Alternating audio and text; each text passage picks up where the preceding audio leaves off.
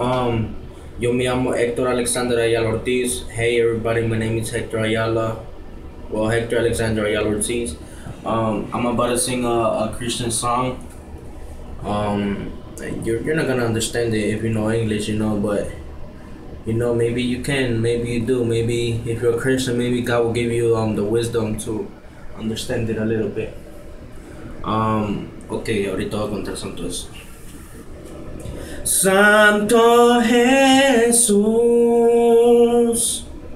Santo es el Cordero de Dios, digno de mi alabanza.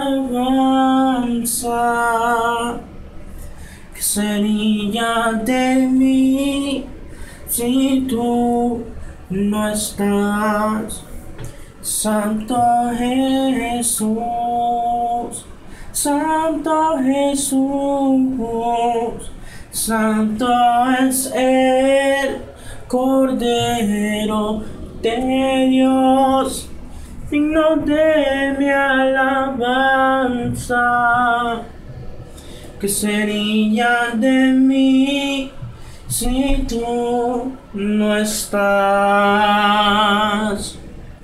I um I can only sing the, the the chorus for now because um I'm recording it through my phone if you didn't notice and you know and if it's a long video it's gonna take forever to download on YouTube. So the second part is coming soon, alright?